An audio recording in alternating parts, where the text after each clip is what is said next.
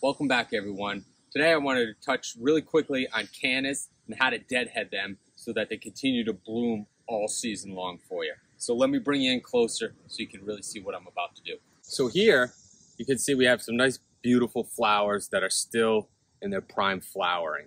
But over here you can kind of see that it's already expired and it's gone bad. But see right next to it, here's a new one coming up.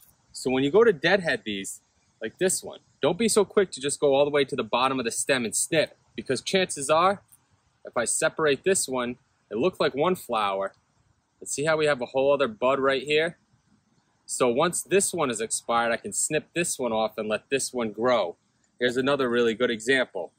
I have two. So I let this one go, and then I'll just go right down to the base, about a half inch above the joint of the new flower, and snip it.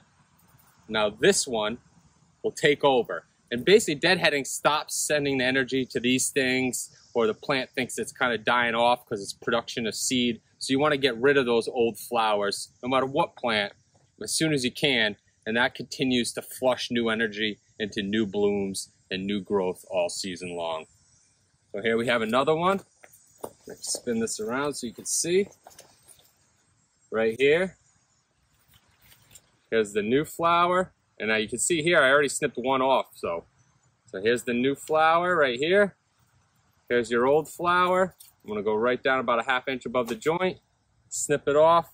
Now we're just left with the new one.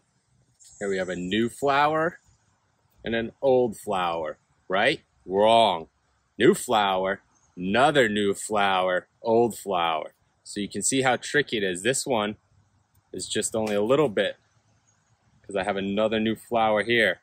Right here, we have a flower, but look down here, we have another one coming in. So just make sure that you follow the stalk down and snip it, leaving the next flower to grow.